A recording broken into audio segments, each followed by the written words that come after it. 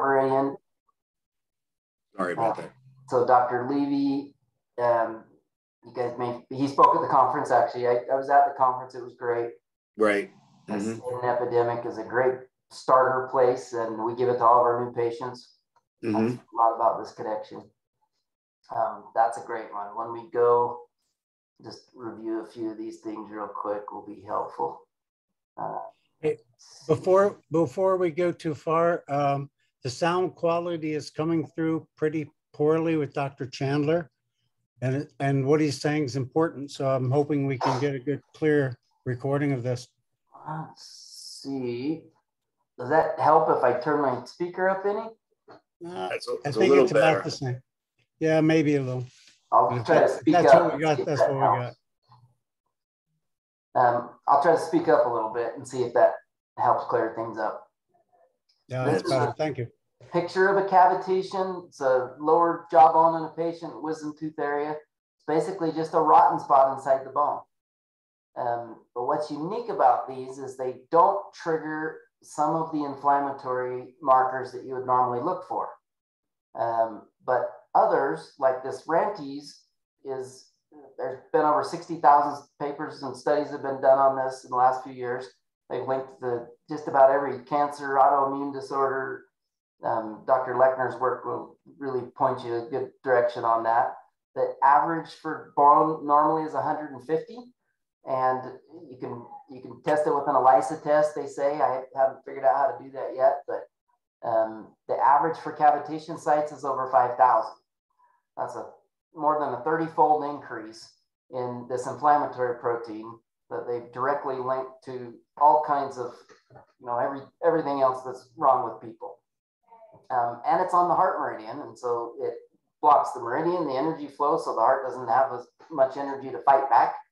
Um, the bacteria that are in these is another big factor. And what Dr. Levy talked about recently in our meeting is that that bacteria eats away the myelin sheath of the mandibular nerve, which is responsible for a major portion of your brain activity, and it exposes bare fibers. So you get these trigeminal neuralgia or these atypical facial pains that people have, and a lot of times they can be caused by a cavitation. But the unique thing that I just learned from him is that when it demyelinates this nerve, it triggers demyelination of the nerves in other areas of the body.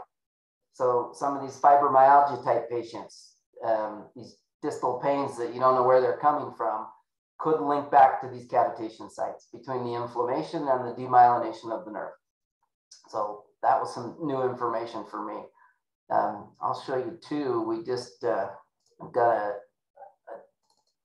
here's a, a, DNA test that we do um, pretty routinely of when we extract a root canal tooth, for example, or clean out these cavitations. A lot of times we'll send this to the lab and say, hey, what was in this? And this one had 27 different strains of bacteria, most of them in the red. Um, there's some pretty nasty stuff involved in these. okay, go back. So we talked about a lot of that stuff last time for those who were um, with us. So that was just kind of a brief review of what we look for. The best way to find those things is on a cone beam scan, a 3D x-ray. Um, this is an example of, of what it looks like. This is kind of the Halloween picture where it takes all the flesh off and just shows us bone. And what we can see on this is, for example, in this upper wisdom tooth area, turn it so we can see, it looks like just a big hole. Like Pac-Man just took a big bite out of this and there's just some little flakes of bone in there. Well, that bone's actually there. It's just so soft, the computer doesn't think it's bone.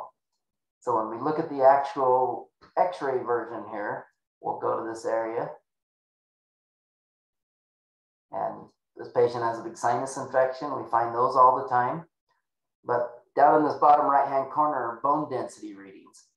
And we see, let's go to this lower one. These dark spots are where we don't see all the good um, bone inside. And we see those bone density readings go into the negatives. So this one's over 300, negative 300. So that is a big cavitation on this young girl. All kinds of autoimmune disorders, um, major digestive issues. She's been pretty miserable for a long time. And these are the type of things that we typically see clear up after cleaning out cavitations. So these upstream hidden infections can be the cause of a lot of these patients that just are refractory. They just don't get well when they should be. Jump back into, so we talked about a lot of that stuff last time. This time I wanted to go into a little bit more about kind of the future of biological dentistry. Where, where do we go from here? Um, the pictures here. Get this guy out of the way and start this. So some of the challenges I see in biological dentistry today is that there isn't like a, a, per se training program. You don't learn about it in dental school. They don't talk about cavitations. In some places like Canada, if you even mention the word cavitation, the board of dentistry is all over you. Um, so they have to be really careful what they say on, you know, about these things. Um, biological dentists are always kind of keep our heads down, lot like probably what you guys have seen in your careers. Um, where a dentist can begin to learn. Um, I had the good luck of running into Dr. Mark Lafferty, I think spoke to you guys recently. Um, when I first moved to Utah, and he said, if you learn this stuff, I'll send you lots of patients. And I said, that sounds like a good business decision. So I started learning it and found out that I just loved it. It was amazing stuff. And that's how I got started in biological dentistry over 10 years ago. There are some organizations, the IAOMT is a good one, um, that are dentists, physicians, university researchers, uh, kind of the whole gamut where we all meet together. Uh, the Holistic Dental Association, the IABDM is another one. These are places that a new dentist that's interested in this can go to start to learn about biological dentistry. So there are some resources, but there's not a standard. And what we find is as dentists start learning these things, um, they may really get into the mercury removal. And for the first several years, I did the mercury removal and that type of thing, but I didn't even know much about cavitations. I didn't do cavitation surgery. Um, so it's usually kind of a process as you learn and grow through this. And the, the best way for most dentists doing this is to, to find a mentor. Um, I was able to go to Switzerland to the Swiss Dental Solutions Clinic. Um, he was the inventor of the zirconia ceramic dental implants. Um, great program there. Uh, Dr. Klinghardt was, was teaching over there and was able to, to get some good information from there. But it, they're kind of few and far between. Um, there's a few dentists. There's one here in Utah that teaches programs to dentists throughout the year of learning these things. Um, but there's so many aspects to biological dentistry, so many layers that it can be a hard process. And patients a lot of times don't know the difference. And so they can be going to a biological dentist who says, I don't see any cavitations on your x ray. And we get this every week. Someone will send us an x ray. Their biological dentist told them they had no cavitations. But this dentist doesn't do cavitations, doesn't know that much about them like I used to be. And they don't have the right software in their x ray process to be able to analyze the bone densities to see where they're at. And so that's one of the, the biggest obstacles, I think, to new dentists or to patients is finding a biological dentist who knows enough and does everything. There's a lot of different areas of biological dentistry. We talked a little bit about the mercury removal, doing that safely so you don't completely toxify your patient by trying to make them better. I've seen so many patients over the years that read that the mercury was bad and they went in and had all their fillings taken out and they swallowed gallons of it and it's all over in their system and now they're sick and they can't get rid of it. And so it's important that you go to someone that's been trained that knows how to do that safely. Um, biomimetic dentistry is a close cousin and many biological dentists practice this form of dentistry. Um, and this is where they do, instead of crowns and things, they do many layers of fillings that tries to match how the tooth naturally works. And there's some pros and cons to that. Um, ozone can be a really helpful aspect. Um, I'm sure some of you guys have used ozone a lot in the past. Um, that can be great, but for cavitations, it doesn't seem to work. I've had a lot of patients that have been to a dentist sometimes for months in a row having ozone injections over and over and over again, and it never cures their cavitations at all. And so we found that to not be completely effective. Um, zirconia implants and removing titanium ones. There's few things as bad for patients as a titanium dental implant. It's a great antenna for your cell phone, but it is not good for the health of the patient. And suddenly we are seeing 10 million titanium implants that are failing in patients that have been serviceable for years, sometimes decades. And what we think the difference is, is now with these 4G and 5G cell phones that you're holding right up next to them, these implants actually heat up about five degrees Celsius and they cook the bone. They're migrating titanium particles out into the body. We're starting to see a much higher incidence of titanium allergies, um, where it used to be hardly anyone was allergic to it. But because it's in the mouth and the way the meridian system works, the teeth are like the circuit breakers for the rest of the body. That having that huge interference field that a lot of times is on a molar, it's on a digestion, a stomach, or a large intestine it can be a major obstacle to your patients getting well. They're not fun to take out.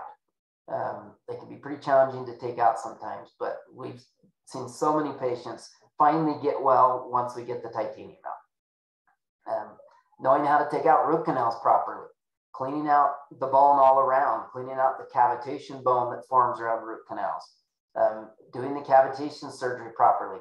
There's a huge difference in protocols among biological dentists of how they do cavitation surgery. A lot of them are still doing them with a dental drill. They drill through the bone with the dental drill, which makes a lot of heat, and heat kills bone, and sometimes that can be an obstacle to healing. Um, what you clean the cavitation out with, we use um, a laser, a cold laser, and then we do ozone, then we do the platelet-rich fibrin, we do homeopathics. We're starting to add irrigating with, with a silver um, a colloidal silver or a nano silver that comes from Canada. Um, we'll, we'll touch on that a little bit more um, here in a while. Another aspect of biological dentistry is airway and sleep disordered breathing. This can be a major issue for patients' health.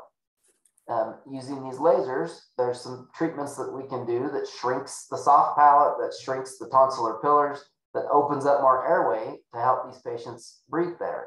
But there's lots of different ways of doing that that dentists can learn, and some work better than others. Um, there are some new orthodontic appliances like Invisalign that are doing a pretty good job of opening up the arch and allowing more airway. Uh, laser dentistry, lots of, I, I think it's critical for biological dentistry that the dentist is using a laser. Now there's every spectrum of lasers down from really cheap ones that only do like cutting gums to ones that detoxify and, and clean out inside the bone. There's even been some pretty good work done using lasers for root canals to disinfect the tooth with a laser. They're showing much better promise than the previous ones. I think they're still risky, and the jury's out on that, but um, there is some improvement there. Um, platelet-rich fibrin. It, a lot of people know what PRP is, and a lot of physicians have used PRP for joints and for all kinds of different things. But PRF is like platelet rich fibrin is about 20 times more effective. Um, it's much less expensive. It doesn't involve any anticoagulants like the PRP does. Um, it, it's better for the patient. It works better. And but as it's progressed, there's many different systems and protocols for using the PRP that can have a dramatic difference in the patient's healing. So for a biological dentist to learn these things and know the difference, it can be kind of daunting. Um, now, getting into supplements and, and the huge difference that it can make when you properly supplement your patient. So most of our patients are working with a good functional medicine doctor, and we're able to coordinate with them to get the patient on uh, enough D3, for example, and, and supplements that help with their healing. Um, homeopathies, we use a lot of homeopathies. We, when we do these big surgeries and clean out cavitations, most of the time we'll do an IVC infusion um, with other um, nutrients in it as well. Uh, that can really help with the healing. There's a lymphatic machine, Flowpresso, that we've started using that really keeps their lymphatics moving so they don't swell and hold all the fluid in their face. Um, and then this nano silver, this Canadian Verisil, actually has FDA approval for treatment of all aspects of surgery, of dentistry, cleaning out fillings. We can use it in the bone. We can use it in our IV lines. We can use it in our laser fluids. Um, just about everything. Um, there's there's been work done on, and he's managed to get approval both in Canada and the U.S. Um, that's something that we've been a little hesitant to use in the past, and all of the ones, even the good ones like Argentyn 23 and those have are approved for cosmetic use only. They're not approved inside the bone for surgery. And if something happens, then we could be in trouble. So these are, are some of the layers that a biological dentist needs to learn. And most of them are somewhere in that process of, of learning those. Um, technology is the other big thing. Um, I mentioned lasers. For us, the laser is critical. We use it on almost every patient. It has a biostimulation laser that's a hot laser, an Nd:YAG, and then that's 900 and some nanometers. And then the cold laser that we use in surgery is over 2000. It's like 2300, 2800, something like that. Um, these are critical, but it can be a major barrier to treatment, especially for a dentist just getting into this because the laser itself is $100,000. The cone beam CT scan, you can find some smaller ones that do smaller pictures and, and kind of some, you know, lesser known companies for less. But for example, the one that we use that will do the whole head and has the best pictures, $130,000. So you can see where that can be a huge barrier sometimes for doing the best possible biological dentistry. Then the learning curve. These are difficult surgeries. Uh, removing the root canal teeth and immediately placing implants the same day is, is an acquired skill that most dentists don't have. Um, the manufacturer hype of, of lasers, and you guys have, have seen that. All these new things that come out, how much is real and how much is hype. Um, the ozone, huge range of application for ozone and how to use it and what you can do with it and being trained enough to get the most out of your ozone. Now, there's a new ultrasound unit called a CaviTau that is coming from Germany from Dr. Lechner, where they use ultrasound and the ultrasound readings will show you where the soft spots in the bone are. Um, we don't have that available yet, but they keep telling us soon. Um, microcurrent. Um, we've had some really good luck with pain patients and things like that using microcurrent. We like this Avazzia machine. Um, T-scan is a computerized bite equilibration that is great for treating TMJ and migraines and all kinds of things like that. But again, huge learning curve and expensive equipment.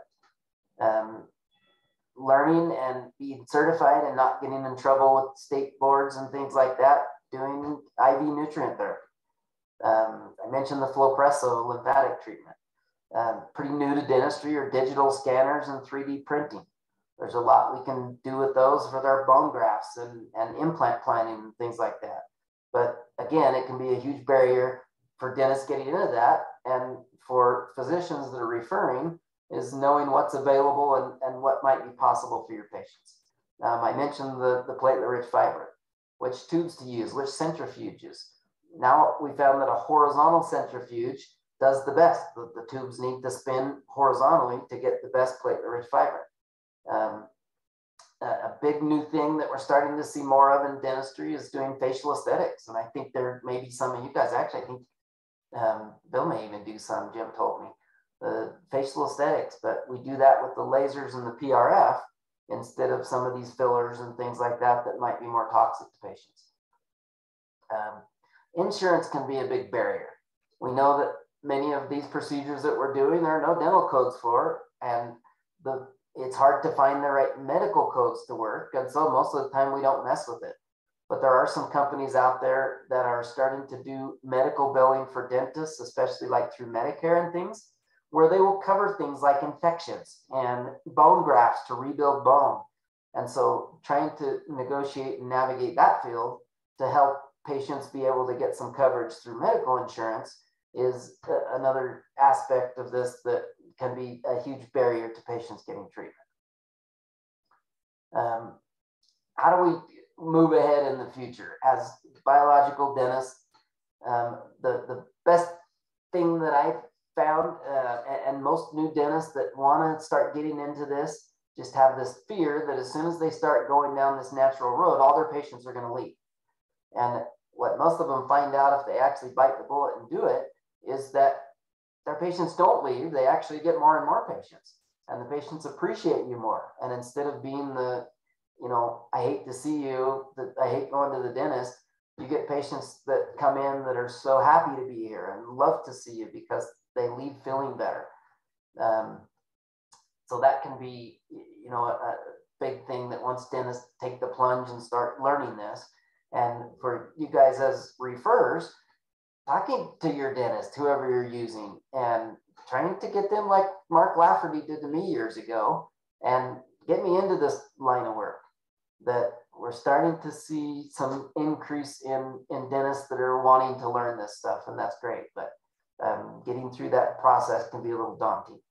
Um, getting out of our box and losing the the fear, you know, of doing something different. So that can be challenging. It's also hard sometimes to not overpromise to patients.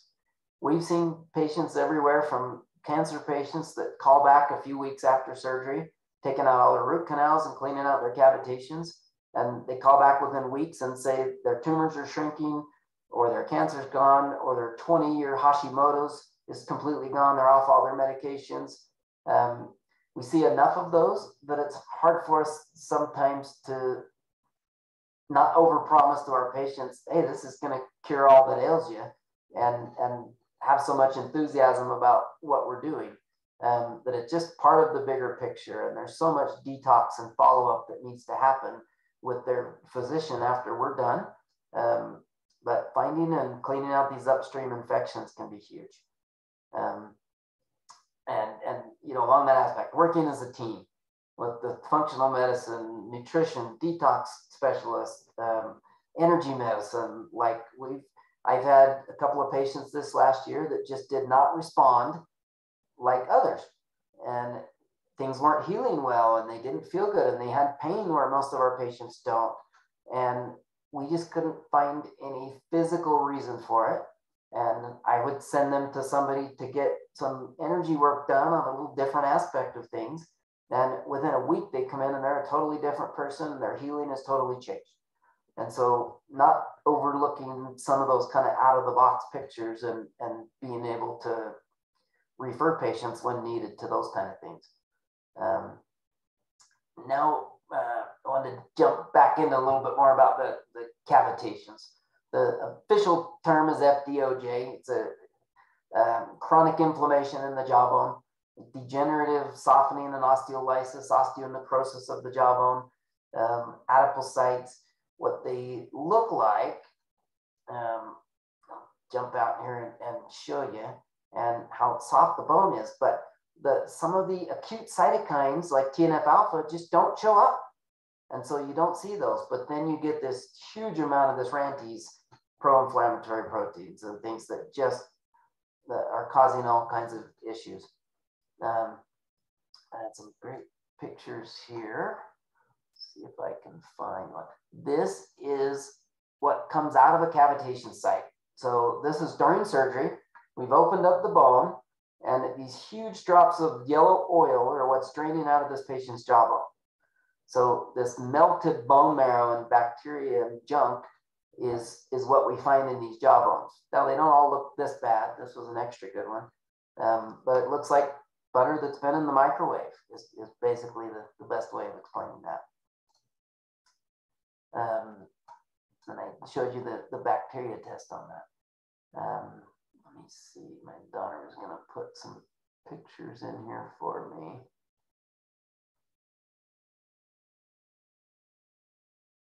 well, actually, there's some here in, in Dr. Lechner's lecture. I'll show you this one. And if, if you want to ever talk to Dr. Lechner, he's in Germany. Like I said, he's written several books and a ton of articles on this stuff. Um, this is is what this junk looks like before it turns into that oil. It's like jello that's in these cavitation sites. This is the Rantes protein, the pro-inflammatory protein. But we see on this um, x-ray here, you can see the tooth, this is the wisdom tooth area, that a lot of times this infection will spread through the jawbone. And these cavitations don't always just stay locally right in that site. And I, have got a patient that's been hospitalized like four times now with sepsis, and they cannot find anything the matter with her. We go in and find that she's got this infection that has spread virtually through almost her entire jawbone. Um, these are the kind of out of the box cases that you see sometimes with this. Um, jump out of that.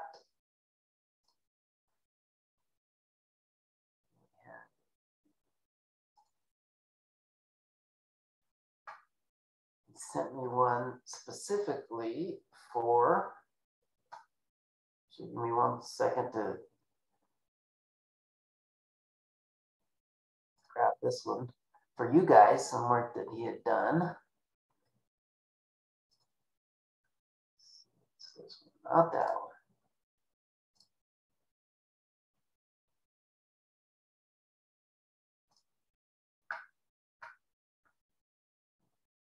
Going to uh, move this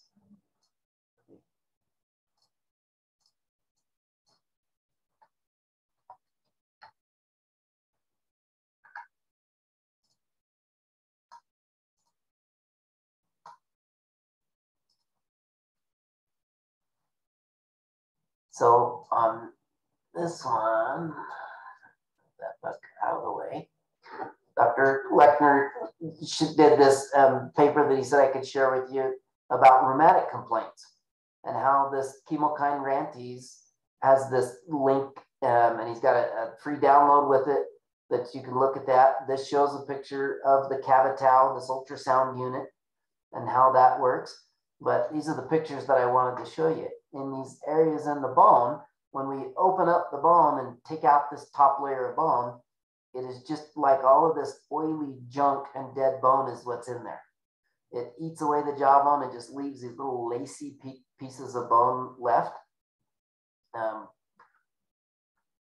sorry, they're kind of nasty looking pictures, but all of, again, all this just fatty degenerative osteolysis of the jawbone is, is what we're looking at. So this is the kind of stuff that we're that we're cleaning off. Um, jump back here.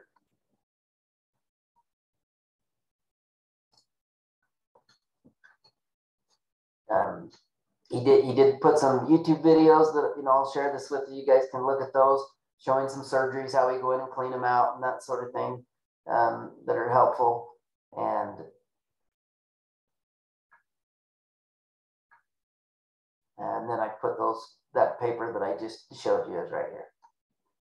So there's, there's the download. Um, here's the link to his new book, Cavitational Osteonecrosis in the Jawbone. Um, I highly recommend it. You guys can get a, a lot of good information about this and about what's really going on and how this one little factor may be what's keeping some of your patients from getting well.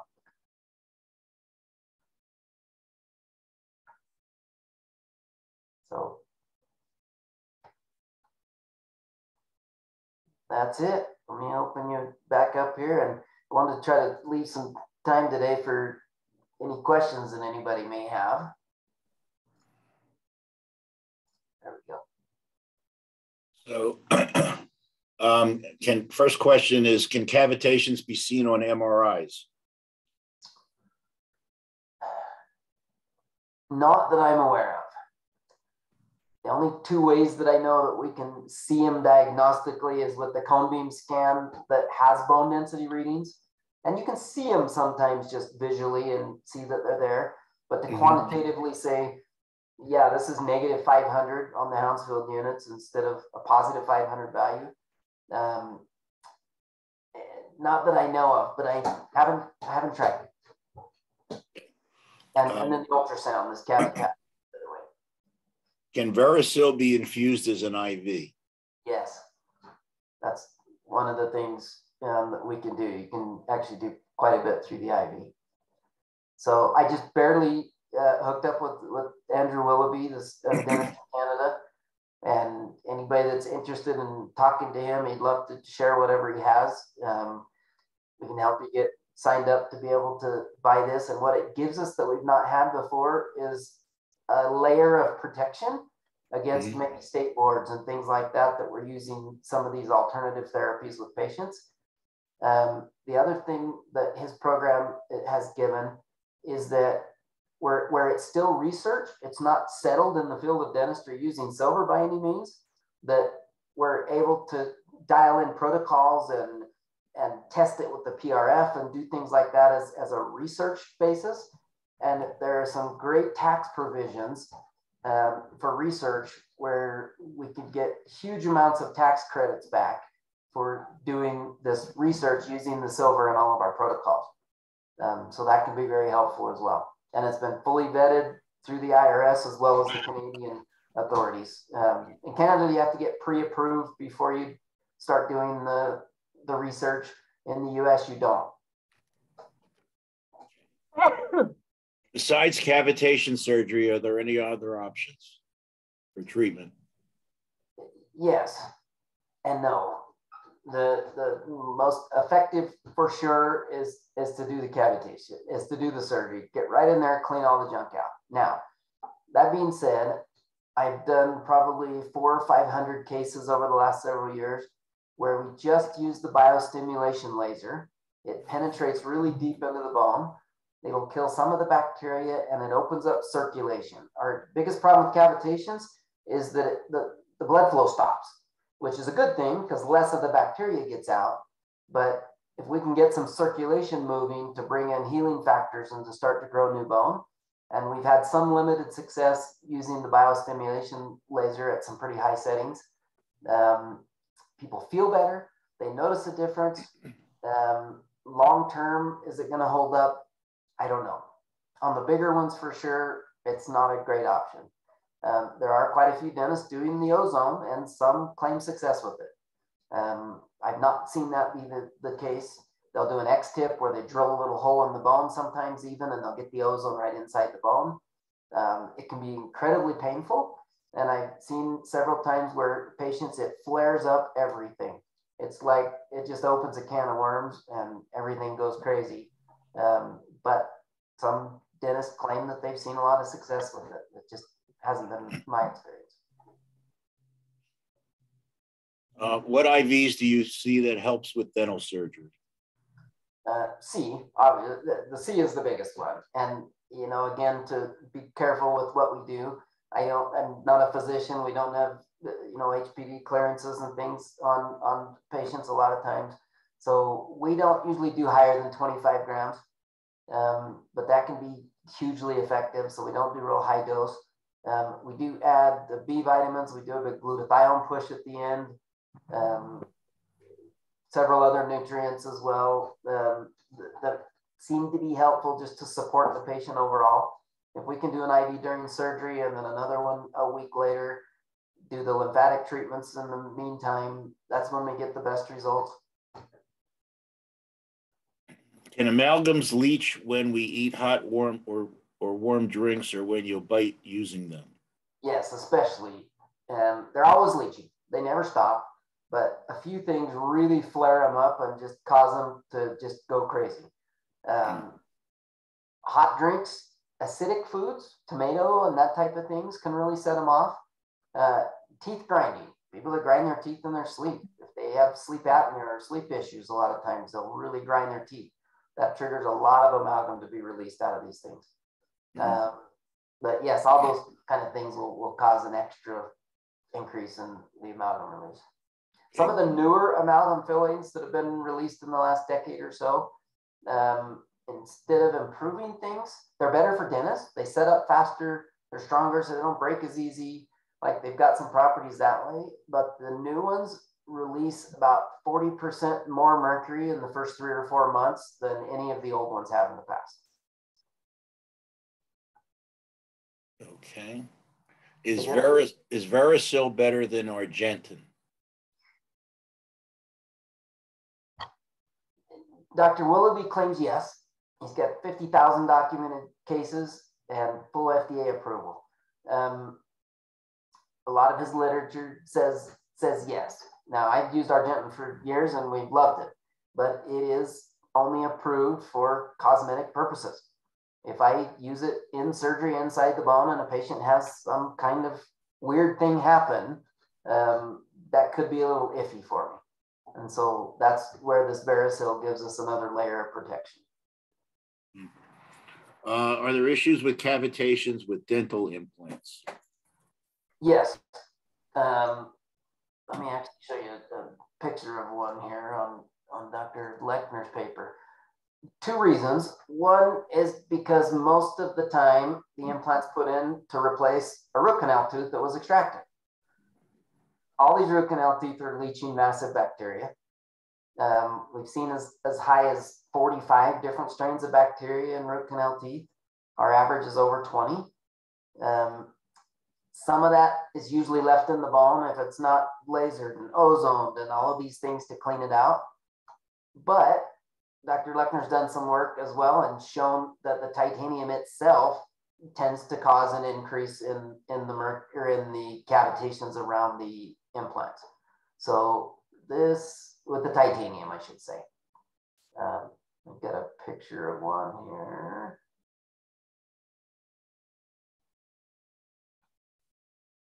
So here's a picture of a titanium implant, this yellow oily bone. You can see the drops of oil in the flash of the camera. This is pretty typical around implants. Um, it's pretty rare that I take out a titanium implant that I don't get a big discharge of, of the cavitation oil around it. So that does seem to be a factor. Um, who should we contact for Verisil and do you have any contact info? Um, I'll, I'll, send it to you so you can send it out to everyone. His name's Andrew okay. He's a, a, dentist in Canada. Mm -hmm. uh, okay. Great product and just a ton of research behind it. And like I said, with FDA approvals to use in surgery, IVs, et cetera, et cetera, uh, that's something that we've not had available to my knowledge. Okay, I'm not sure if I understand this next question, but if a root canal is seen under cone beam, to not have infections, is it okay to stay in? No. Um, you know, I, I do muscle testing and things, and I test about one out of 500 that test strong. Um, mm-hmm. Now, that being said, they're all bad. There's no such thing as a clean root canal. Um, we test them all the time, and a lot of times the ones we test have have no signs of infection on the X-ray. They look great. We take them out, we send them in and have them tested, and they come back with 20 different bacteria that are all in the red zone that are off the charts.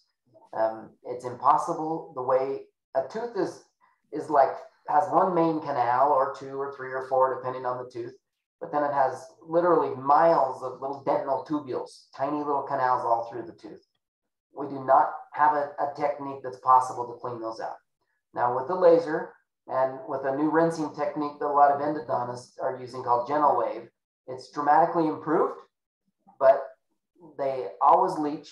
And the interesting thing about root canals, and be, because it's in the mouth and, and the way you chew, it is a perfect delivery system that it sends all of that bacteria and those factors not just into the bloodstream, but into the lymphatics as well. And that's why there's such a huge connection to the breast cancers is because it just goes right down through the face, through the lymphatics. And we see a lot of that issues with the breast cancer. I saw one yesterday from England. Um, Dr. Levy explains that, that it, he thinks it's more effective than starting an IV of bacteria and running it into the system because you're also hitting the lymphatics when you're chewing on these things. So uh, most of us will tell you that no, there's not no such thing as a, as a clean root canal. Um, however, you see one that's got a big infection and it's eating a hole into the sinus, then we are more concerned about it. But we generally recommend that people have them all removed. Okay. can laser be is be beneficial on its own? Yes. Yeah, we use laser for all kinds of things, for biostimulation, for healing, for um, we always treat the tonsils when we do these surgeries, and tonsil stones and all kinds of things. That all this stuff has been draining into these tonsils all these years. That either a procaine injection or using the laser a couple of times on the tonsils, and we see a huge difference in swelling, in um, how fast the patients heal, how well they do. And so I, I think leaving the tonsils unaddressed is, is a big problem that most biological dentists have. Um, sending them back to you guys to get that done or something. The tonsils need to be addressed when these kind, this kind of work is done in the mouth. Um, I'm not sure exactly what this is. I might have to interpret it. When a dentist says they can remove mercury, can we take their word for it or do they need to see a certification? I'm not sure what that is. Yeah. there is there some sort of uh, certifying board or, or some sort of curriculum that needs to be covered? The, the SMART program, um, let's see, on this first one, here. so the IAOMT has a program they call the SMART protocol, where a dentist can go to a couple of days of class. They learn about cavitations and they learn about how to safely take out mercury. Um, having that certification is a good sign that they've at least been trained in it. Now, a lot of us guys have been doing this for a long time, didn't go through the extra couple of days of training and get the certification just to show that we have it. We're already doing all the stuff that they teach anyway. So I, for example, don't have that certification, but I'm doing the protocols and in the smart protocols. Um, so you just have to ask some questions and, and see, but you can, on the IAOMT website, it talks about it. You can see what aspects there are to it and kind of know what questions to ask. They also have a link to dentists that are in the group. Um, and that can be a little iffy as well because some dentists will go to one meeting, find out about it, and be listed in the list. And, and so generally finding someone that's been to more meetings, that type of thing, go to their website, see what kind of stuff they're talking about. Um, you got to do a little bit more homework. That's a good place to start. Are there choices for ceramic implants? And if there are, how do you choose? There are. Um, there are several companies out now making ceramic implants. Most of the big titanium companies are all have or are coming out with ceramic implants um, because that's where the market's going. That's what the patients are asking for. There are more and more oral surgeons and dentists that are starting to do a few here and there just when somebody requests it. Um, there can be a huge difference in the implants themselves. Um, the ones we use, the SDS implants from Switzerland, he's the inventor. Mm. He's, the, he's, the, one that originally in 1999 invented the zirconia implant. Um, I think his are the best. There are some others out there that dentists have had good luck with as well. Um, all of them are better than, than mercury, but there are some that are better than others. Uh, are there changes to jaw shape and functionality after the cavitation surgery? No, except in a very rare situation because, um, here, look at that picture again on the cavitations. Um, because this nerve is right there, and oftentimes the cavitation will actually have gone around the nerve and down into the jawbone. And a lot of times this nerve is exposed. There can, on a rare occasion, be some numbness left over from nerve damage. And so it's like you're waking up from an anesthetic where the lips kind of tingly. That's usually what it's like. Um, now, I've never had one be permanent. They usually go away in a few weeks. The longest I've had was about three months. The biostimulation with the laser usually will bring it back. I've had patients that have had nerve damage 10 years ago.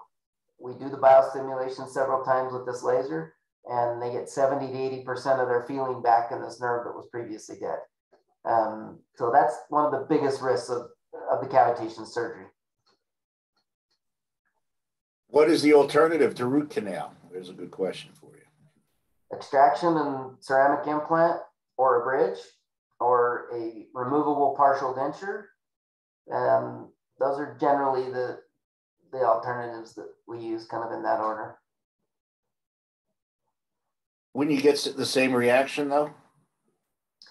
As a root Don't canal? with ceramic. You do with titanium for sure. So if you're using the, the zirconia, it's totally neutral. Um, it doesn't have any reaction to the bone. the meridian turned on. We've actually found that having the implant in the bone, you know, in the, in the older days, the older Hal Huggins and the original biological dentist here said all implants are bad. It's all a foreign body, even the zirconia, and there's quite a few biological dentists that, that still adhere to that.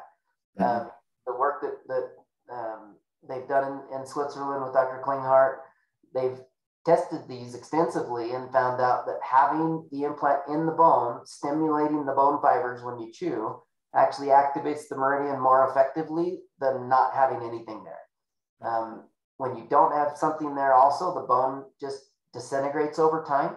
So over a number of years, sometimes the teeth will move. You'll see resorption of the jawbone. So it maintains the, the strength and the dimensions of the jawbone and keeps the meridian more active. That's what the latest work is showing. Are tooth extractions in general a setup for chronic infections and inflammation?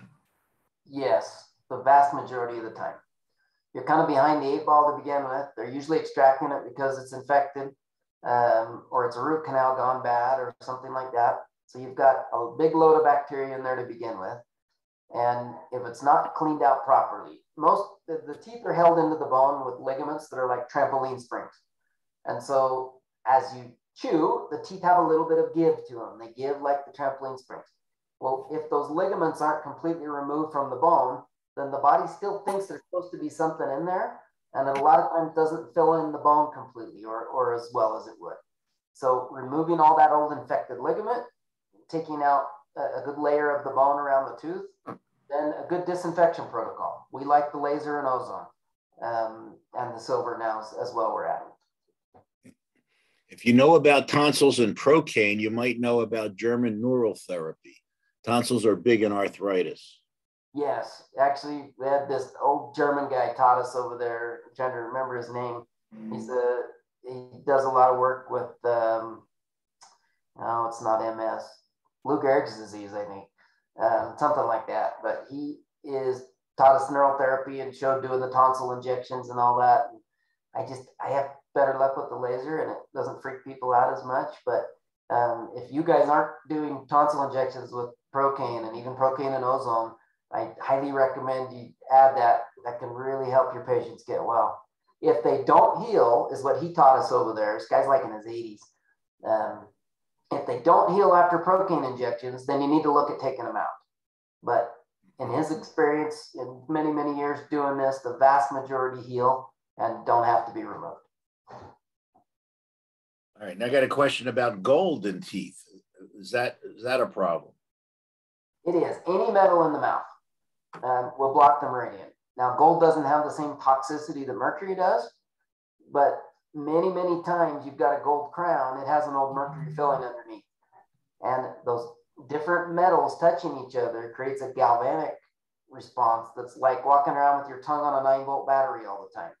And that completely shorts out that meridian and blocks it like crazy. So better in the terms of not releasing the mercury, but the gold will usually cause the same issues that any metal in the mouth will. Is there a possibility of bone graft after amalgam ex extraction if there is no infection? Yes, and when when we do extract the tooth, it should be grafted. Um, a lot of times we can just use platelet-rich fibrin. We have great luck growing bone with platelet-rich fibrin with these new protocols. However, most of the time in a tooth extraction and in the bigger cavitation surgeries, we do mix it with cadaver bone. So we cut it all up, we stir it all in with the cadaver bone. If it's bigger than a centimeter, it has a harder time healing and should be grafted with bone. Um, sure they're not using cow bone. A lot of them are using cow bone for their grafts, and the cow bone never goes away. It's always cow bone. Is a jaw is a bone graft possible after the jawbone infection is cleared? Yeah, yeah, that's what I say. We we do those quite regularly, especially the big ones. we add some some actual bone graft particles, um, some cadaver bone. Um, there are some synthetics that work if someone doesn't want to do the cadaver bone, but the gold standard is still cadaver bone. There is one company that does the bone harvesting that keeps about 4% of the bone. They have to show that it's osteoinductive. If their testing shows that it's osteoinductive, then they keep it. And the other 95%, they sell to all the other bone companies. Okay. Uh, and here's maybe the penultimate question Does flossing really help? Now, in Switzerland, they told us to throw away the floss. Um, take that for what it's worth. If you're flossing under the gums, like we always taught as dentists, that you curve it around the tooth, you get it under the gum pocket, um, you cut the gums, you allow that bacteria to get into the bloodstream, you're chronically breaking the connection of the gum to the tooth. Um, they said that's terrible. What they showed us is if you get their nutrition right, then the gums will heal up and the gum disease will completely go away without doing any flossing or even cleaning the tartar off their teeth. And, and so they said throw away the floss. If you're prone to cavities in between the teeth, then floss in between the teeth, but don't go under the gums with it, if that makes sense. every time, every time I go get my teeth cleaned, I get scolded by the by the you know the dental hygienist. It's you know it's like my my twice a year you know uh, beating. um, what about um, oil pull, or uh, you know, we have some people do uh, coconut oil and turmeric and uh, baking soda. It won't do much for cavitations because that infection is so deep in the bone and it's so nasty. It can be really effective for gum infections, for mm-hmm. periodontal mm-hmm. disease, that type of thing. All of that stuff has been really effective. Wheatgrass oil. Um, wheatgrass oil, they say you only have to rinse for five minutes the oil pulling, you've got to do for like 20 minutes at a time, which is a long time. Um, and so you may look at that. But yes, all of those can be effective. But you can do the same rinses with silver. Now there's a homeopathic blend called Stella Life that again only has cosmetic approval. Um, but that's what we're using right now in a lot of our post-op stuff. It's a mouthwash, a sublingual spray, and a gel that you can paint right on the surgery sites. And we've seen just amazing healing with this Stella Life, it's called. Um, so Dr. Heidi's asking, how do we find people uh, in our area or wherever we live that does does the type of biological dentistry that you do? Is there a registry somewhere? Yeah, the best way is to look on these websites. These are, are the main ones. Um, I'm most familiar with the IAOMT website. And if you go to that, you can, there's a list of dentists in your state that have at least been to a meeting or signed up with these guys. And so if you kind of use that to start your search, then you can find some and then you just ask the questions and see what kind of protocols they're doing and if they're using ozone and if they have a laser and those type of things. Mm-hmm. Okay. Um, is there 3D printing of bone for a bone graft instead of cow bone?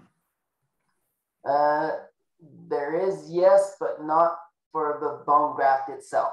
Um, there's when we've got somebody that has like a dramatic bone loss, then we can print like a matrix um, with the 3D printing, put the bone graft inside that, stretch the gum so that it closes over the top, let that heal, and then take that out. And so we've started doing some of that with 3D printing to guide our bone grafts, um, but not, and, and you can use that to kind of shape the bone and then put it in. So in a way, yes, um, but you can't print the bone itself.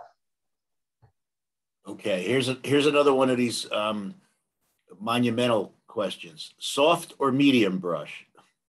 Soft always. Okay. Practice on teeth is very soft. It doesn't take anything to get it off.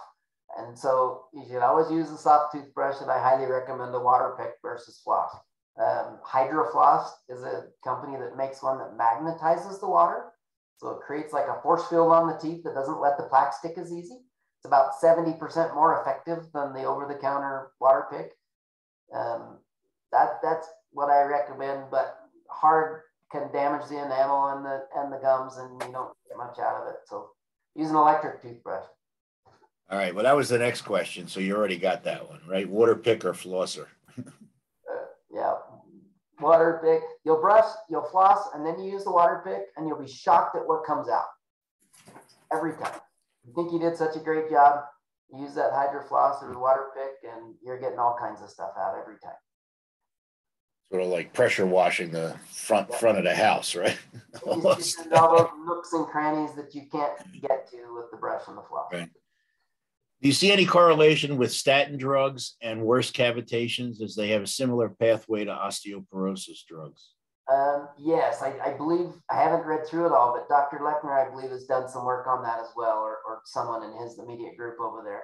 Um, I, I, believe one of his papers or books does talk about that. So yeah, that and as well as the the bisphosphate osteonecrosis of the jaws, really really similar to the way those work. Mm-hmm. Um, do electric toothbrushes provide any benefit, or do they make things worse? No, they're great.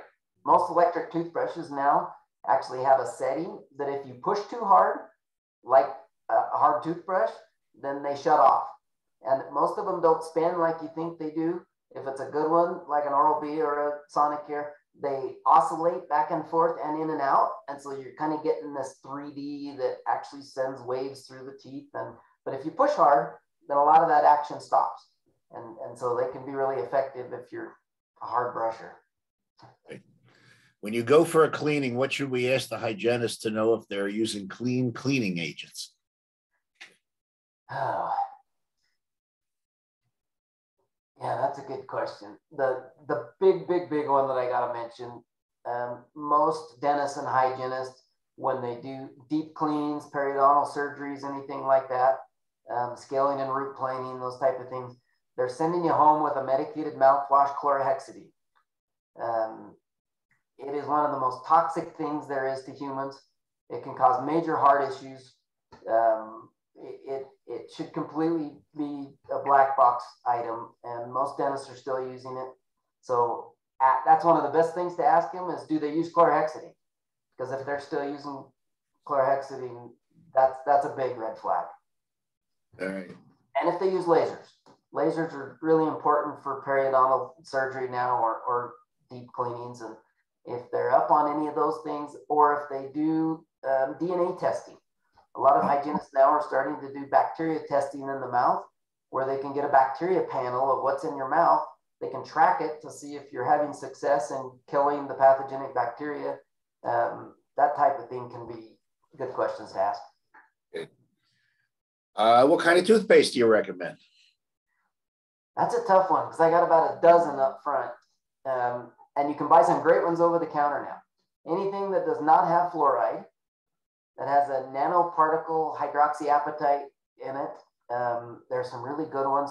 Uh, the Real Salt Company makes makes a great one. Um, the we like the DoTerra toothpaste. There's a, a dentist in in um, New York, Dr. Curatola, has one called Revitin that he claims doesn't kill the good bacteria; it only kills the bad bacteria. And so it, he says instead of making the mouth a desert where you kill everything, that it's more like an organic garden. It only comes in orange flavor, and I'm not wild about orange flavor um, because mint is too strong and can affect the flora. Um, so those are some of the good ones that we use, but uh, there's quite a few good ones out there now. If the patient can't afford a root canal extraction, what can we what can we advise them? If they can't afford the root canal or the extraction, doing ozone injections periodically for a while to buy them some time can be helpful, or the laser biostimulation. Um, the oil pulling can help buy some time. Mud packs, um, doing like the bentonite clay, put it right over the, the tooth or the infected area, let it sit 10, 15 minutes, spit it out and go stand in the grass. Um, those type of things can be, can be really helpful to help buy you some time and dry out that infection. Mm. If you do have to put them on an antibiotic, which we do on occasion, it's always our last resort. But if we do have to put them on an antibiotic, some of these studies uh, from Verisil and these show that the antibiotics are much more effective if you're on the silver also. The silver also can be protective for the gut flora. Mm-hmm. Um, and so do we, whatever we do an antibiotic, we, we do silver with it. Uh, well, Dr. Horvitz, I'm going to call you by name because you're the one who asked this. Are you ready? If I can't afford a tooth extraction, does a string tied around the tooth and connected to a door get that gets slammed? Get get the job done. I've seen that happen where patients have gum disease and have lost some bone, and I've seen them be able to do that. And make sure your doorknob is screwed on tight. yeah, you can see it pull out the doorknob instead of the tooth, but I don't recommend it. I don't see why not. Uh, what concentration is the ozone injection solution? Uh, you know, it all depends on what we're doing and where we're at. Most of the ozone that I'm doing is right inside an open surgical site. And so I do the ozone gas straight out of the machine. So I run a pretty high concentration. Um, if we're doing injection, then we have to tone it down some.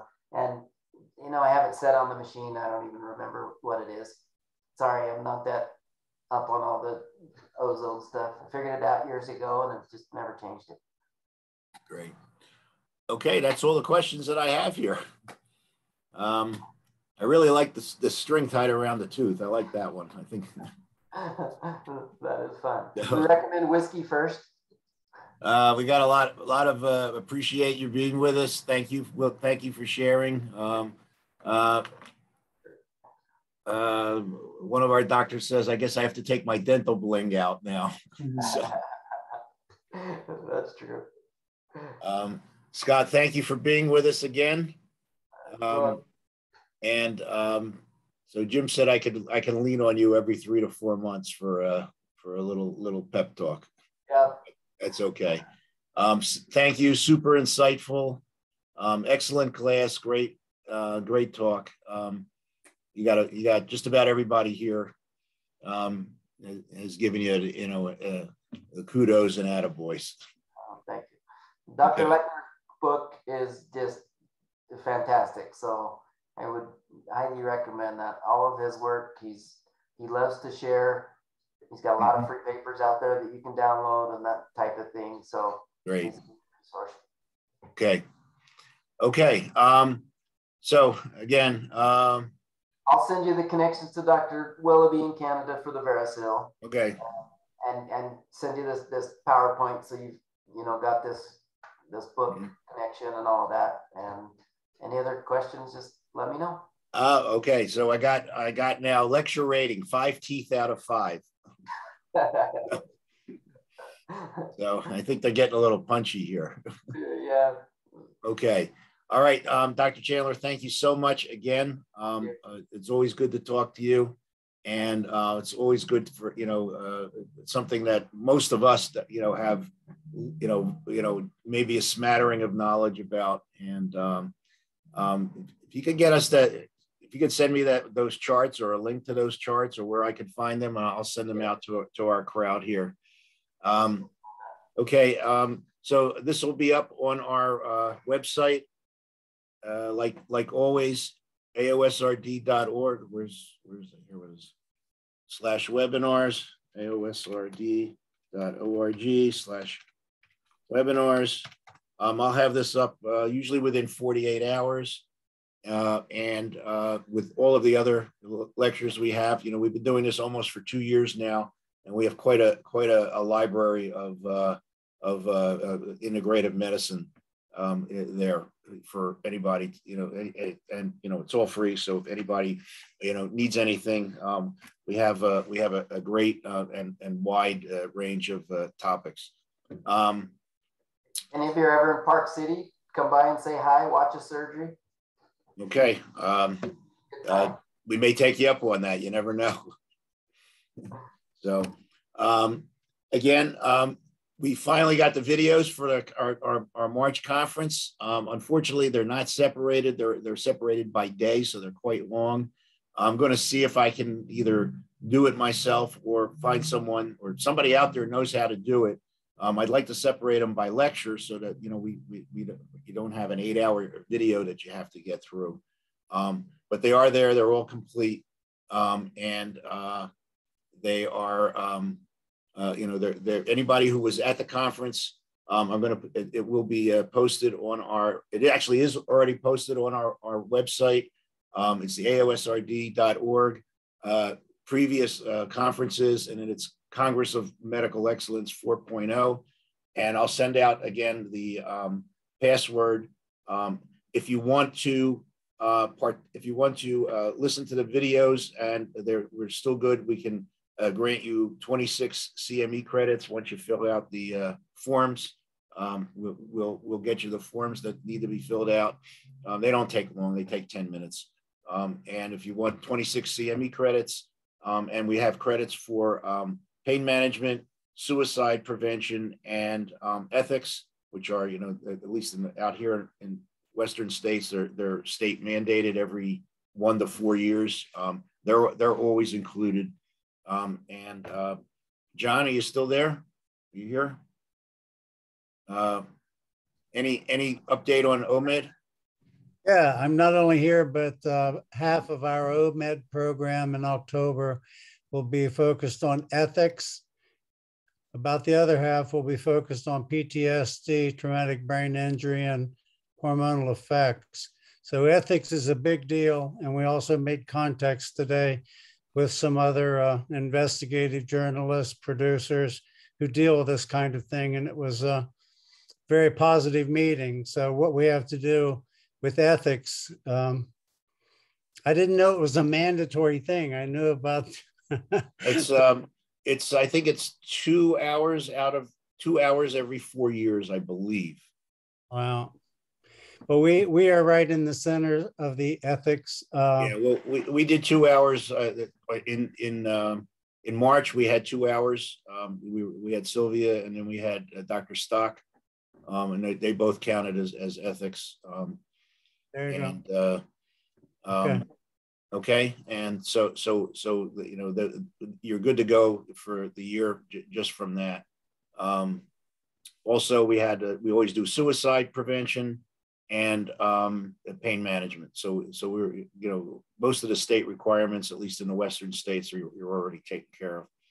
Um, and it's aoa and ama so um, you know we're, we're, we're moving we're moving along here. In case you didn't know others you didn't hear we we're recredentialed for five years, which is the maximum um, uh, that that the AOA will credential us any, anybody for, not just us. Um, so we're we're we're in with the big boys. You know the the internal medicine, family practice people. Um, they got nothing on us. So um, also, if anybody wants to go to Las Vegas in August, I it's it's a little warm. It's 114 at midnight. Um, but uh, NOMA, Nevada Osteopathic Medical Association, is holding their summer conference at the Suncoast Hotel, and um, they've uh, given us a breakout room. So if we want to present anything, um, we uh, we are uh, we have uh, four hours we can present there also. So anybody wants to present anything, please let me know, um, and um, we'll um, we'll we'll get that arranged also. Those of you who are kind of new at speaking or don't ever speak, um, th- these are great um, ways to break in because there's you know not too many people around to throw tomatoes at you, and it's a good way to sort of, sort of practice. So, right, Dr. Chandler, you you, you only dodged a couple of them tonight, right? So, um, other than that, um, the AOA's House of Delegates is next month, and I haven't decided whether I'm going or not. Uh, I'm not sure I'm all that interested, but uh, we'll uh, we'll we'll we'll cross that bridge shortly. Anybody else have any questions, comments? Like Dr. Gerber. Um, That's a question. Where? oh, Dr. Gerber. Unmute yourself. He's got a question here. So he's got a hand up anyway. Uh, ask to unmute. Okay, maybe it was an accident. I don't know. Maybe he's not there anymore. If you're there, Dr. Gerber, uh, speak. Or that, or there you go. okay.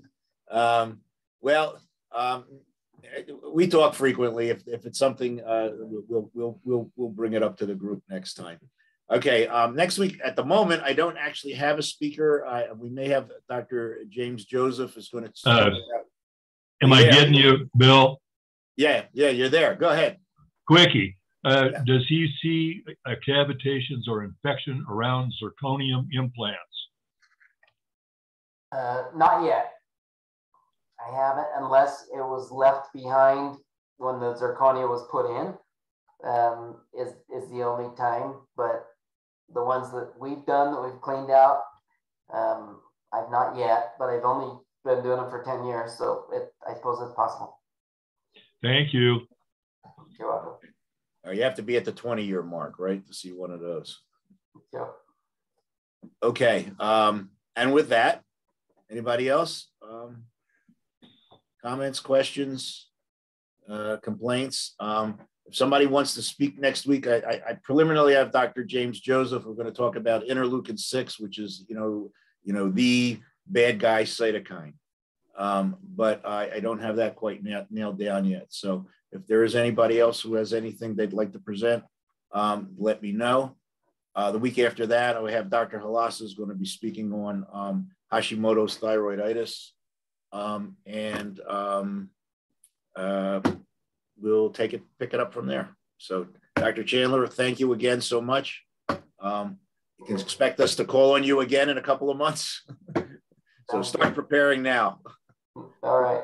This Thanks. is a tough crowd. Yeah. Okay. Thank again. Thank you so much for your time. Okay. Okay. Anybody else? Comments, questions, complaints? I'll see you next week, same time, same station. And uh, like I said, we'll have the vi this video up within 48 hours. Okay. Good night, everybody. Thank you. Night.